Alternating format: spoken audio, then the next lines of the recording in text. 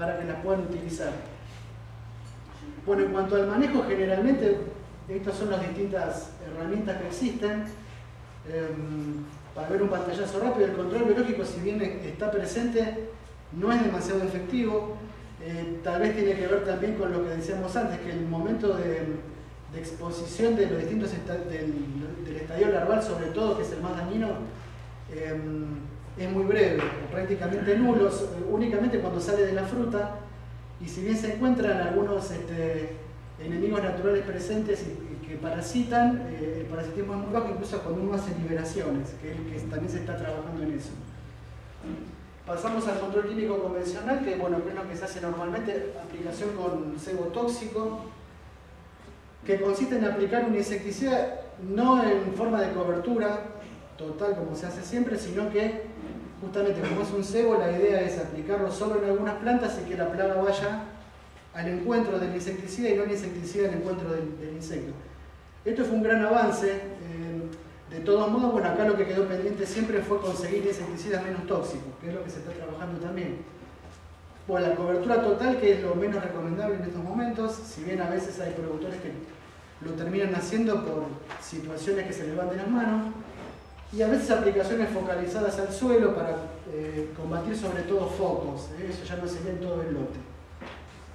Se puede mencionar también este, manejo cultural, que es muy importante complementar siempre con, este tipo de técnicas de eliminación de la fruta infestada y de hospederas alternativas.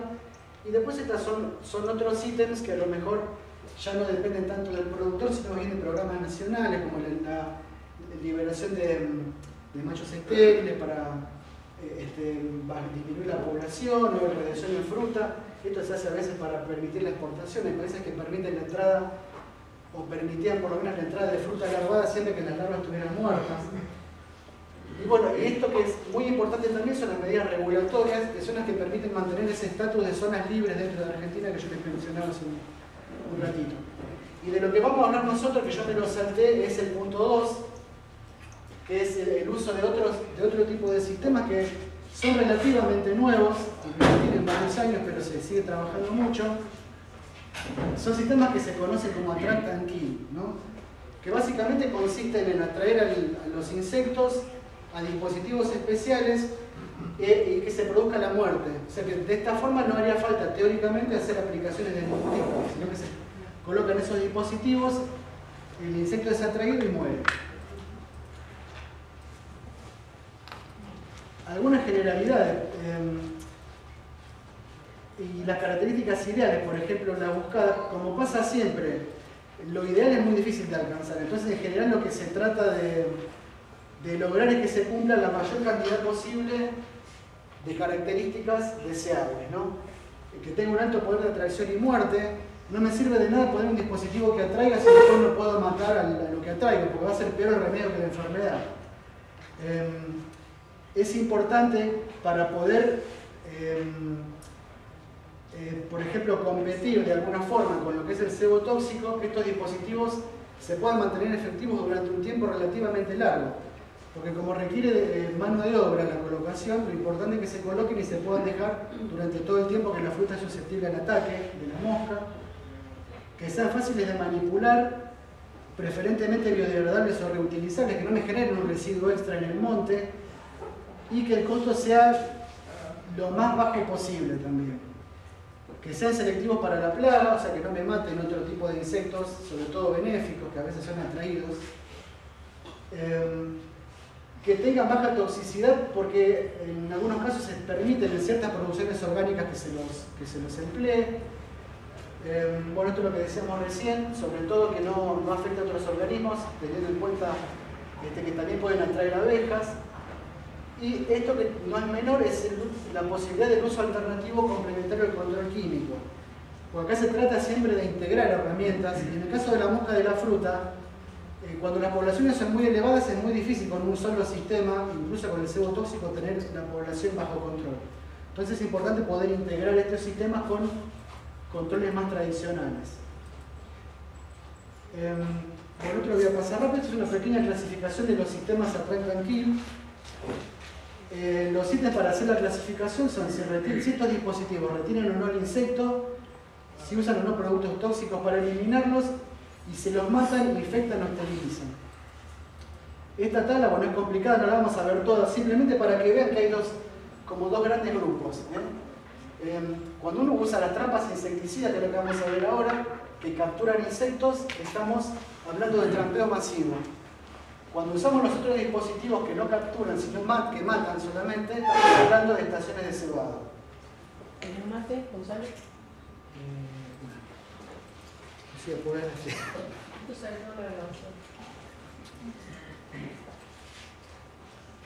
Bueno, las trampas insecticidas, como, como lo dice el nombre ya, atrae, captura y mata, esa es la idea, lo que decíamos recién.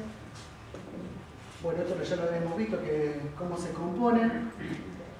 Y según el medio de retención se pueden clasificar en secas o húmedas.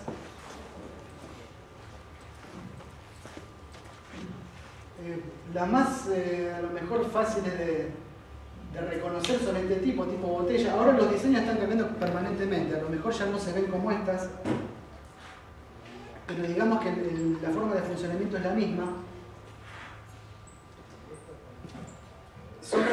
Básicamente que tienen un atrayente, tienen orificios que acá no se ven porque están tapados por una banda adhesiva, por donde puede ingresar el insecto, y acá el medio de retención es un líquido que no necesita insecticida en realidad. ¿eh? Lo que sí necesita a lo mejor es algún compuesto emulsionante de este líquido o que baje la tensión superficial para que las moscas se hundan. A veces se usa algún detergente, incorporado al atrayente. Los atrayentes suelen ser, bueno, como dice allá, derivados de las aminas, y la idea es que principalmente traigan a las hembras, que son las que tienen esa necesidad tan, tan grande de consumir este, derivados de nitrógeno ¿eh? para, para que madure el complemento de huevitos que van a colocar. Otro tipo de trampas son las que se conocen como McFly, que se usan mucho para monitoreo, yo les había mostrado, pero en grandes densidades se pueden usar como trampas insecticidas también. Hay diseños que son bastante más baratos, porque esto es caro en realidad para usar en grandes cantidades. Y ahí el atrayente también está disuelto en agua. Después hay trampas secas. A veces el diseño de la trampa es el mismo, pero en lugar de colocarse un atrayente líquido, se coloca el atrayente en una matriz sólida. Eso es muy variable.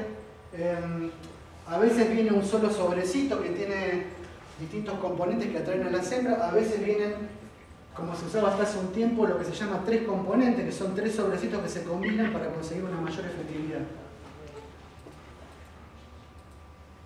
Bueno, esto también son las trampas secas. Este es un diseño un poco más simplificado de trampas McFly para usar el trampeo masivo. ¿no? En este caso, como son trampas secas, em, el atrayente es alimentario, pero como medio de retención se usa un insecticida que viene en cápsulas, que se coloca ahí dentro y genera como una atmósfera tóxica. ¿eh? O sea que son trampas secas. Bueno, y cuanto a las estaciones de cebado, ahora estamos acá. Atraen y matan insectos sin atraparlos. Estas trampas son un poco más difíciles de evaluar porque uno no puede hacer un recuento cuando hace un ensayo. Eh, en general se basa mucho la comparación de, tratamientos. Eh, eh, lo que se compara, perdón, es la población en cada uno de ellos. O sea, yo trato de medir el éxito no solo con con la fruta infestada, sino también con la población de adultos que estoy monitoreando. No puedo hacer como con las trampas que cuento de insectos muertos. Bueno, en general tienen un insecticida, tiene que ser un insecticida que tenga alto poder de volteo porque el insecto tiene que tocar y morir. ¿no?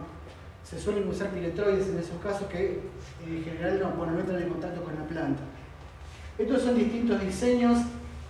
Este, fueron evolucionando. Bueno, los ensayos que hicimos nosotros son con este, con este modelo en particular que se llama MagNetMed. Em, eso básicamente es una matriz de, cartón, de un cartón que es resistente al agua, porque la idea es que esto dure varios meses, les decía yo. Y ese cartón está impregnado con un atrayente y con un insecticida, que es el que decíamos antes, en este caso se usa deltametrina, un piretroide. Bueno, y una breve historia, ¿no? De, cómo se trabajó con estas trampas. Los primeros eh, intentos, si a alguien se le ocurrió en algún momento, ¿por qué no usar trampas de monitoreo en mayor densidad y en lugar de monitorear tratar de controlar poblaciones? Eso ya data del año 52. Obviamente eran sistemas más caros esos. Em, después se empezó a trabajar con otros atrayentes bastante más, más accesibles. Se descubrió lo que se llamaban los tres componentes, que son este acetato de amonio, trimetilamina y putrescina, que es una proteína este, que se, vio que mejoraba mucho la atracción. El problema es que con el tiempo se vio que la putrescina tiene, como muchas otras cosas, este, efectos cancerígenos. Entonces se empezó a dejar de utilizar este, y se, se, buscaron otros, otros este, atrayentes más inocuos. Y en Argentina los primeros ensayos se hicieron en cítricos en Concordia. Eh, la doctora Graciela Pustrol trabajó mucho en esto. Y principalmente para, bueno, en Concordia ustedes saben que el fuerte de frutales es más que nada cítrico. Eh, entonces, bueno, se utilizaban que al, principio los dispositivos esos que vimos allá en la foto. Y más adelante, bueno, ya se empezó a trabajar con organismos internacionales que proveían distintos modelos de trampa, este, como para para ir viendo qué, este, qué convenía más. ¿no? Siempre apuntando, como les decía, a un bajo costo y a que el productor nos pudiera ir adoptando. Bueno, y acá sería, les, voy a mostrar el último ensayo. Si bien hay muchos ensayos hechos con estas trampas, yo les quería mostrar este porque acá se incluyeron distintos tipos de, de trampas y de dispositivos.